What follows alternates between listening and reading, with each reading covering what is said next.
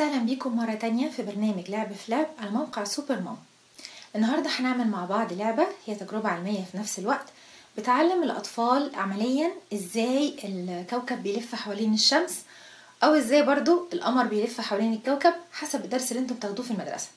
ودي طبعا مناسبة للأعمار اللي بيدرسوا من الكلام ده في المدرسة أو اللي حاسين إن هم في عمر يكفي إن هم يستوعبوا من الكلام ده. يعني العمر مفتوح أنتوا اللي تختاروا. للعبتنا النهاردة محتاجين صينية مدورة وصلصال بألوان مختلفة.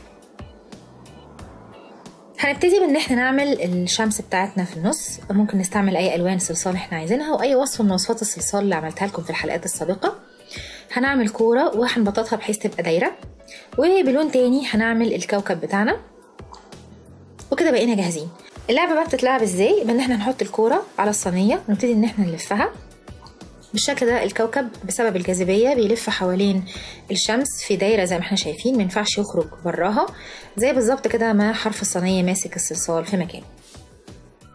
أتمنى أن التجربة تكون سهلة وأن يكون كمان الدرس المطلوب منها وصل إن شاء الله بوضوح. لو الفيديو عجبكم يا ريت تعملوا like و share مع الجميع وما ننساش نعمل subscribe. شكرا على متابعتكم وأشوفكم على خير المرة الجاية إن شاء الله. سلام.